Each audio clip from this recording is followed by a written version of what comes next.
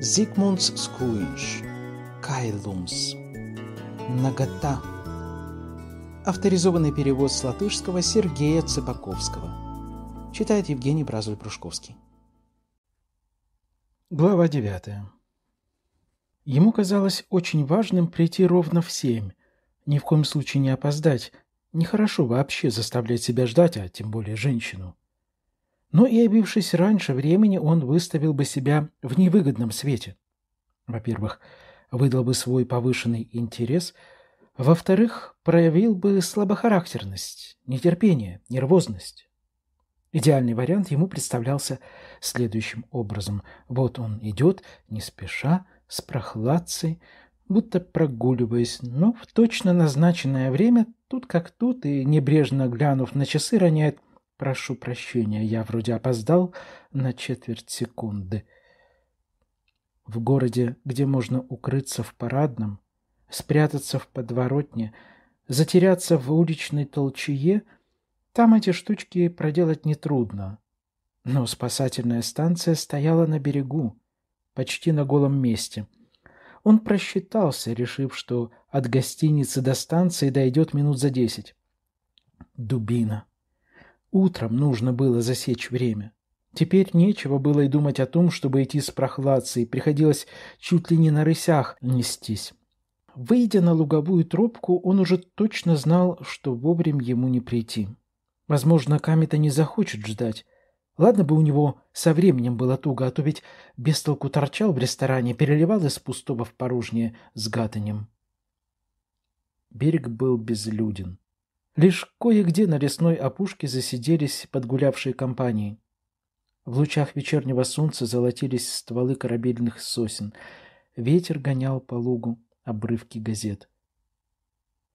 Теперь он чуть ли не бежал, не спуская глаз с белого домика с желтой башенкой. Какая досада! Ну нет, спокойствие. Будь что будет. Не торопясь, размеренной походкой, с улыбкой на устах, минутой позже, минутой раньше, теперь уже все равно.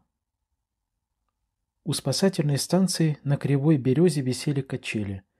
Камита, обеими руками ухватившись за веревки, взлетела вверх и падала вниз, ничуть не смущаясь, что подол платья высоко заголяет ноги. Рядом стояла Берута, время от времени подталкивая ее и раскачивала. Обе были нарядны, даже ослепительные. Чулки-паутинка, замысловатые прически, свежий маникюр переливались, шуршали шелка, зеркальным блеском сверкали туфельки, а вокруг витало душистое облако. Камита улыбалась загадочной улыбкой и была, казалось, в отличном настроении. Берута, напротив, смущалась, робела, вела себя принужденно, норовила отодвинуться от него подальше, отводила глаза. «Ну вот, а ты, Берута, говорила, что кавалер не придет». «Камита, Подойдите ближе, подайте мне руку. Воспитанные молодые люди даже снимают дам с качелей. Добрый вечер, я забыл. Черт знает что. Что надо подать руку или как важно быть воспитанным? Что у вас сегодня день рождения?» Камита хмыкнула. Обняв его за плечи, она проворно спрыгнула с качелей. Так они остались стоять, лицом к лицу, глядя друг на друга. Это было суровым испытанием — у него подкашивались колени, однако пришлось выдержать. Камита смотрела с явным вызовом, только и ждала, чтобы он отпрянул, смешался или как-то оплошал. «Не беда, день рождения отменяется». «То есть как отменяется?» Он сразу ощутил и свой вспотевший лоб, и неровные зубы, хотя думал только о комете. При всем желании у нее на лице невозможно было обнаружить ни малейшего изъяна. Влажный рот, блестящие белые зубы, кожа гладкая, глянцевитая, прозрачная кожура спелого яблока, а поверх огромных лучистых глаз черными лучами нависали ресницы. Все очень просто. Подготовительный комитет изменил программу. Берута, может, скажешь, наконец, что-нибудь вразумительное? Прежде всего, я должна извиниться. Джульетта иной раз бывает настолько опрометчива. Утром так нехорошо получилось. Свои интимные дела вы можете уладить потом, — прервал ее Камита. Не надо мешать личное с общественным. Берута наверняка и все рассказала. Они работали на редкость согласованно. Он сделал несколько шагов в сторону Беруты, по правде сказать, единственное за тем, чтобы немного освободиться от волнующей близости комиты.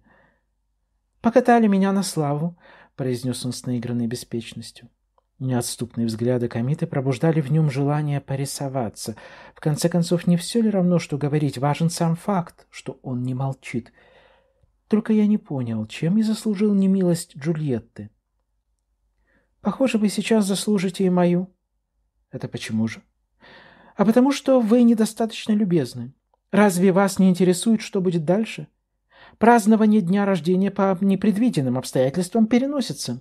Вместо этого мы все идем на бал. На бал? Да, в парке, при стадионе.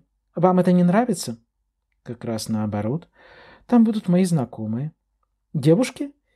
Нет, березки. А где же Марика?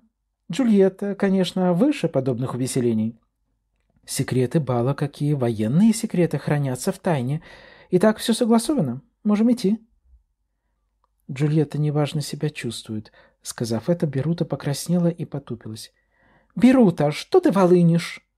«Куда спешить? Все равно придем раньше времени. Никогда там вовремя не начинают». «Покажем Сандру парк, погуляем». Впервые она назвала его Сандром.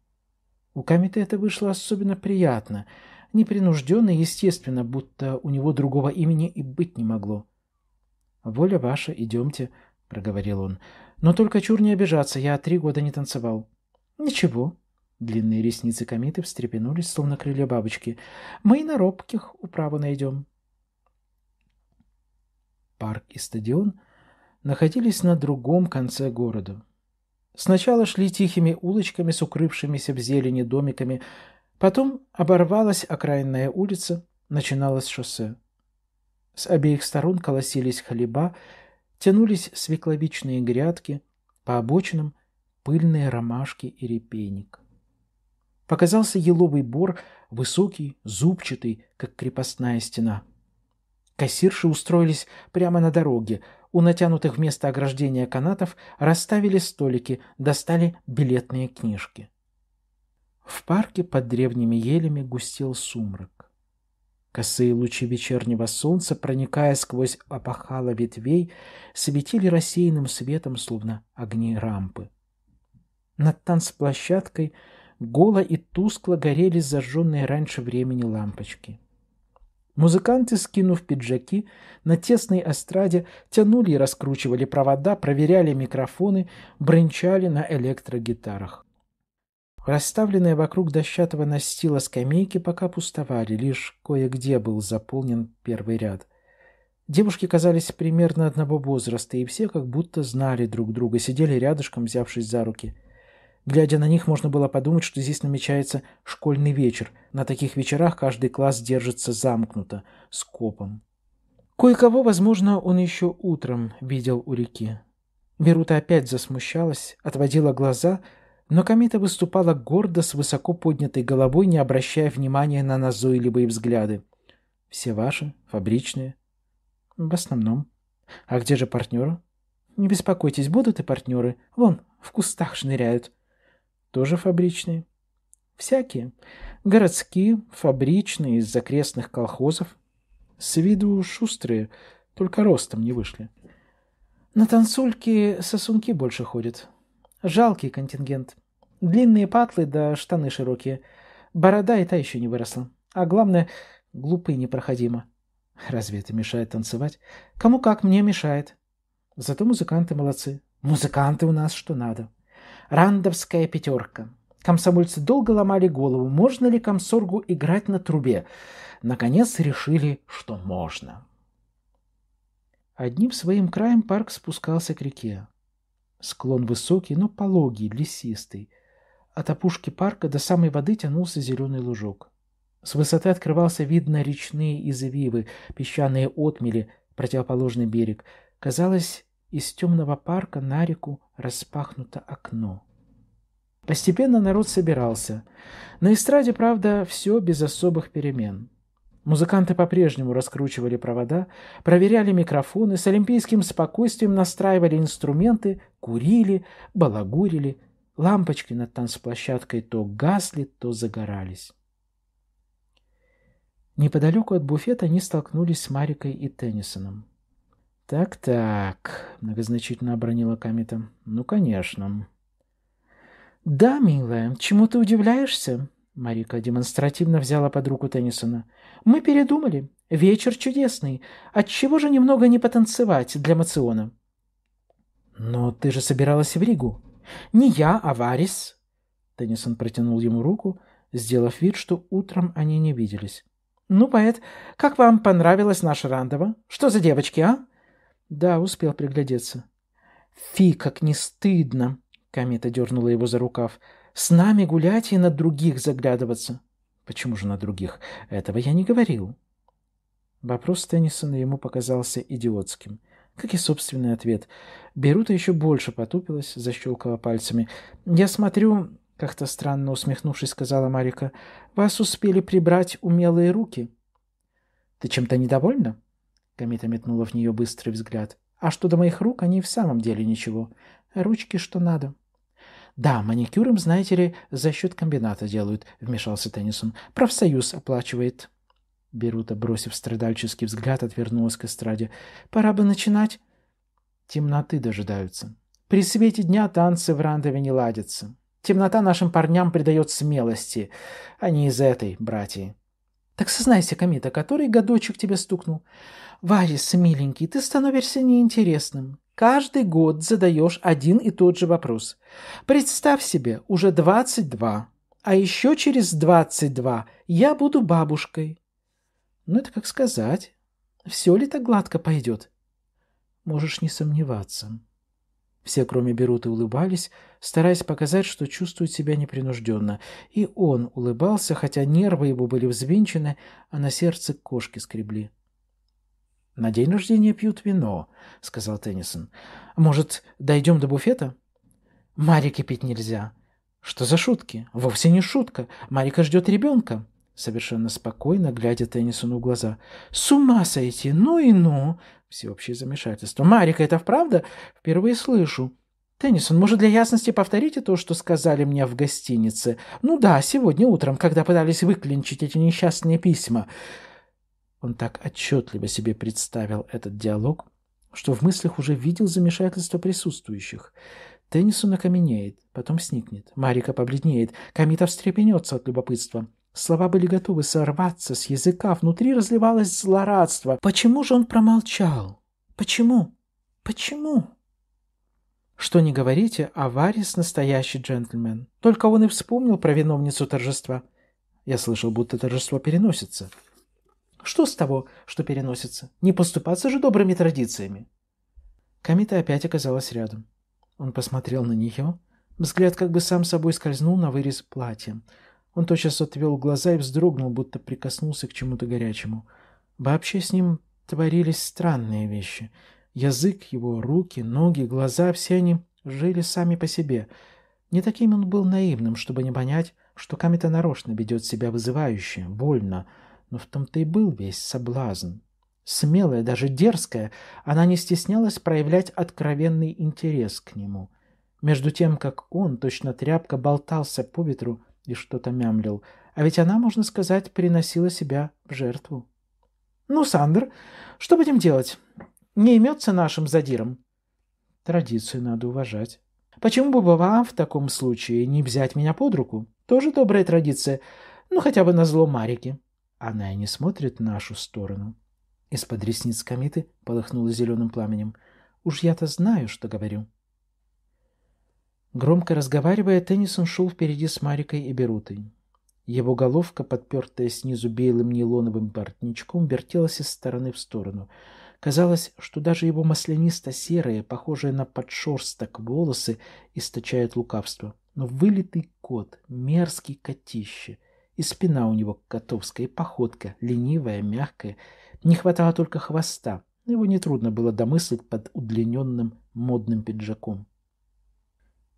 С детства он привык в своем воображении превращать людей в животных. Может, от того, что когда-то был без ума от мультфильмов.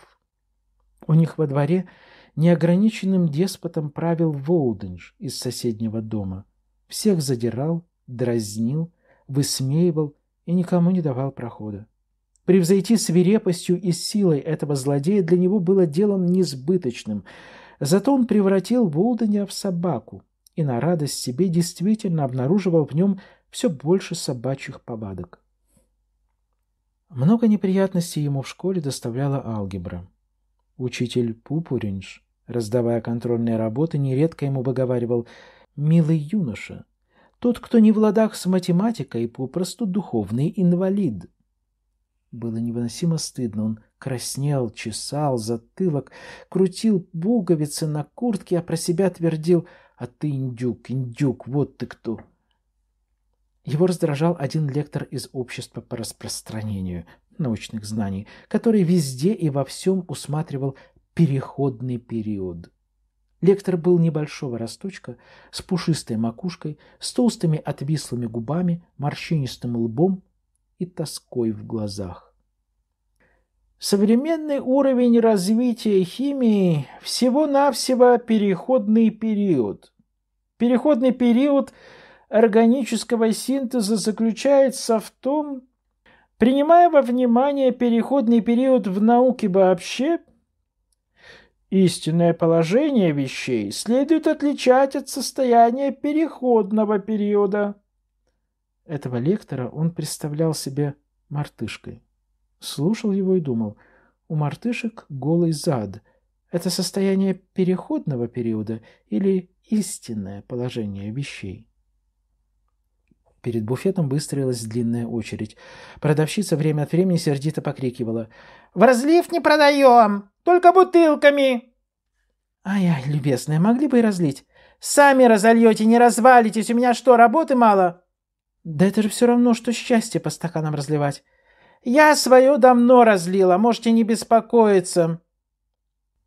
Напитки отпускались быстро. Марокко начиналось, когда дело доходило до мороженого, до печенья, колбасы. Тут приходилось взвешивать. Очередь обрастала советчиками и просто страдателями. Те подсчитывали возможности, прикидывали, давали указания, зудели и путали.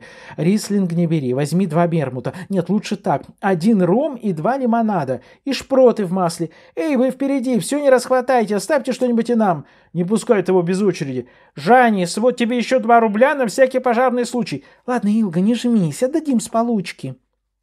Отоваренные со счастливыми лицами, размахивая бутылками, шурша бумажными стаканчиками, разбредались по укромным уголкам парка. — А на что мы сядем? — оглядевшись, спросила Марика. Теннисон в мгновение ока скинул пиджак и широким жестом Тореадора расстелил его на траве. Что ж, пример был подан. Он тоже снял пиджак, небрежно бросил на землю. Камита тотчас на него уселась, вытянув ноги. Берута, поколебавшись, осторожно опустилась на краешек. «Так вот», — сказал Теннисон, — «за большое потомство Камиты». «Фи, как не стыдно! Отставить, это не тост!» Напротив, тост превосходный, я бы даже сказал, государственного значения, чтобы нация не скудела. Свой патриотизм сможешь сам доказать неделе. У меня другое предложение. Выпьем большой молчаливый. Каждый в душе пожелает мне того, чего хочет. Зато и выпьем. Годится? Марика взглянула на Камету, потом на свой стаканчик. Вначале показалось, не станет пить. Стаканчик опустился, но это она выуживала комара. Потом выпила все до дна. — Спасибо, Сандр, — усмехнулась Камита. — За что? — За то, что ничего не пожелали. — Откуда вы знаете? Я видела, куда вы смотрели. — а вы, Теннисон, видели? Важно не только все видеть, но и знать, когда что-то положено видеть, а когда нет. Марика с достоинством обвела всех по очереди взглядом. Берута, до тех пор рассеянно слушавшая, вдруг встала на колени и обняла Камиту. «Вы только посмотрите, какие синие облака, какое красное небо и темные деревья! Красота несказанная, даже слезы наворачиваются, и тишина, будто мир остановился. Будто вот сейчас произойдет что-то неожиданное, необычное. И тут заиграл оркестр. Репродукторы разнесли его бравурные звуки по всему парку. «Берута, ты у нас пророчица, честное слово!» «Вот вы смеетесь, а я говорю серьезно. У меня предчувствие, что что-то должно произойти». «Всегда что-нибудь происходит. Барабанщик, например, может до дыр пробить барабан». «Мы не умеем быть откровенными, искренними. Думаем одно, говорим другое, и обманываем не только других, но и самих себя. Нам кажется, что с нашей стороны это всего-навсего уловка. На самом деле просто страх, может, еще и стыд. Берута стыдит нас. Что ж, принципиальная критика, приправленная самокритикой. Вовсе нет, я и не думала. Просто мне пришла такая мысль. Лучше бы я промолчала, да? Ты права. Долой притворство. Да здравствует откровенность. Исправляться никогда не поздно. И с этого момента... Послушайте, идея. Камита отстранила от себя Беруту и тоже встала на колени. «Давайте играть в откровенность. Я видела в одном французском фильме. Страшно интересно. Кто-то задает вопрос, остальные по очереди отвечают. И можно спрашивать все, что взбредет в голову? Абсолютно. Ну, сыграем? Сандр. Теннисович». Не о том он думал, что ответит. Ответ был неважен. Он лихорадочно придумывал, как поступить, если такая игра действительно начнется. «Мне все равно. Мне-то что?» — сказал Теннисон. «Это ж все равно, что в присутствии других до нога раздеться. Нет, ни за что. Вот ненормальное». «Хорошо», — сказал он. «Да будет так». «Значит, играем? Отлично. Кто первым задает вопросы? Может, позволите мне?» «Благодарствуйте», — сказала Марика. «Я в этой миленькой игре участвовать не собираюсь. Очень жаль. Ничего, переживете». «И я, наверное, откажусь», — сказала Берута, не смело подняв глаза. «Ну почему? Ведь ты за откровенность». «Как раз поэтому». «Вот тебе на». Если ты, Комета, полагаешь, что можно с полной откровенностью ответить на любой вопрос, ты очень и очень заблуждаешься. А почему бы и нет? И я могу. Так в чем дело? Чего мы и мешкаем? Продолжал он с видом человека, готового на все. Никто не ответил. Молчание, наступившее после сумбура и выкриков, давило своей тяжестью. Все присмирели и выжидательно переглядывались. Как ни в чем не бывало, первой встала Марика. Можно было подумать, ей наскучило сидеть на пиджаке Теннисона. За ней поднялся Варис. «Так все танцы можно проболтать. Шутки шутками, а работа есть работа. Пошли танцевать». «Милый, в самом-то деле довольно прохлаждаться. Ой, у меня ноги затекли. Держите, я падаю». Камита разглаживала помятое платье, подтягивала чулки. Марика, глядя в зеркальце, красила губы и, слюнявя палец, подводила брови. «Ну что, тронулись?» Призывные звуки вальса наполняли беспокойным оживлением шелестящий лепечущий парк, но пока еще оно не докатилось до освещенной танцплощадки. Парни по-прежнему шныряли по кустам, сходились в ватаги, мало-помалу сужая кольцо вокруг площадки, словно собираясь с духом перед опасным и решительным натиском. Они молча курили, озирались по сторонам, задумчиво теребили свои галстуки, приглаживали прически. Девушки вокруг площадки сидели не шелохнувшись, будто в полуобморочном состоянии. При свете лампочек их неподвижные лица казались совсем бледными. Вальс кончился. Сквозь кольцо окружения прорывались отдельные парочки, спешили занять свободные места на скамейках. У эстрады бегали детишки, кричали, топали, гонялись друг за дружкой. Всеобщее внимание привлекали трое молодчиков. Разболтанной походкой прошлись они по пустынной площадке, угрюмо оглядывая публику и время от времени у кого-то громко спрашивая «Женьку не видел?» Оркестр заиграл популярную мелодию с дробным и сдерганным ритмом. «Ну, — дохнула Камита над самым ухом. «Не знаю, как другие, а я хочу танцевать». «Никто же не танцует». «Ну и что? Пока-то они расшевелятся». Мое время танцевали твист. Этой штуки я еще не постиг. Что это, шейк? Все, что быстрее похоронного марша, в рандове считается шейком. Шейк я не умею. Не беда, станцуем тангу. Или польку попрыгаем. Не успел он напомниться, как очутился посреди танцплощадки. Они вдвоем, одни. На них нацелены, их пронизывают сотни глаз. Безумие! Как он мог решиться? Его ждал публичный позор, и все же он не мог отказать комите. Более того, он ощутил что-то похожее на радость. Выходит, он не робкого десятка. Оказывается, есть в нем отчаянность или страх. Обнаружить перед комитой свое малодушие был сильнее страха опозориться на танцплощадке? Комита ждала. Он протянул руки, коснулся ее обтянутой шелком талии, и тогда комита, душистая, теплая, подалась вперед, оказалась так близко, что у них столкнулись колени. Легкомысленная улыбка сошла с ее губ. Теперь комита была сама серьезность, строга и собрана. Она повисла у него на руках в покорном бессилии, в то же время — словно натянутая струна, отзываясь на его малейшее движение — Первые шаги были неудачны. Он хотел отстраниться, но как-то само собой получилось, что обнял комету еще крепче, так крепко, что, казалось, ощутил биение ее сердца. У него пресеклось дыхание, во рту пересохло, и чтобы скрыть смущение, он заговорил по возможности беспечнее. «Так что мы будем танцевать? А что-нибудь бедовое? Падуде из Лебединого озера?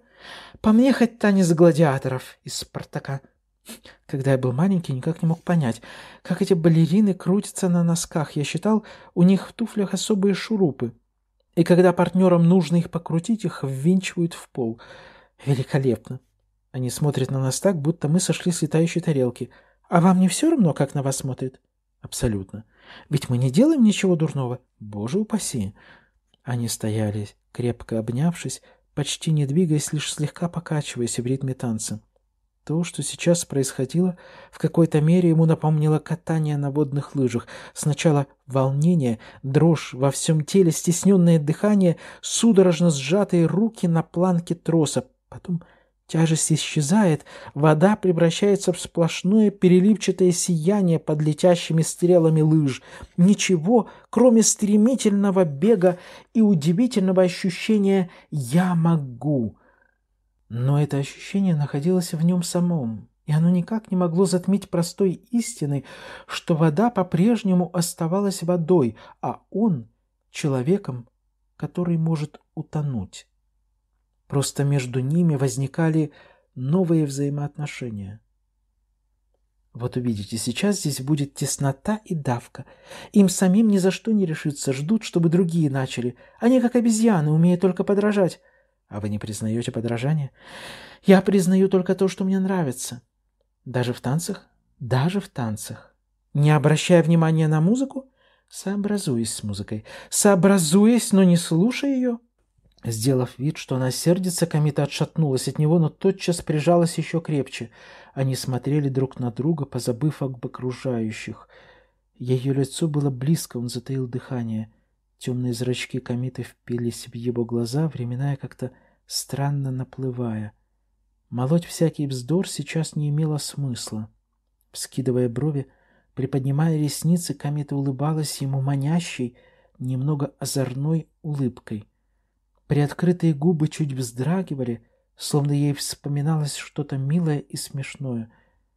К нему возвращалось спокойствие, подкрепленное радостью музыкального ритма — и от того ли, что комета была так красива и находилась так близко, от того ли, что они вдвоем, всем назло, танцевали этот каббалистический танец, но мир внезапно преобразился, и ощутил он это лишь потому, что нежданно-негаданно прикатил сюда, притащился на эти танцы и еще более нежданно-негаданно повстречался с той, которую мог никогда и не встретить. Но так ли все нежданно-негаданно? «Послушайте, чем это вы тут занимаетесь?» Голос Теннисона выбил его из приятной задумчивости. Он даже вздрогнул, будто его окатили холодной водой. Варис с Марикой, дрыгая руками и ногами, лихо отплясывали шейк. Вначале полагается разминка. Только смотрите, не усните. Вы что, пришли нас разбудить? Плотина была прорвана. На танцплощадку хлынули парочки, но тут как раз оркестр и смолк. Thank you.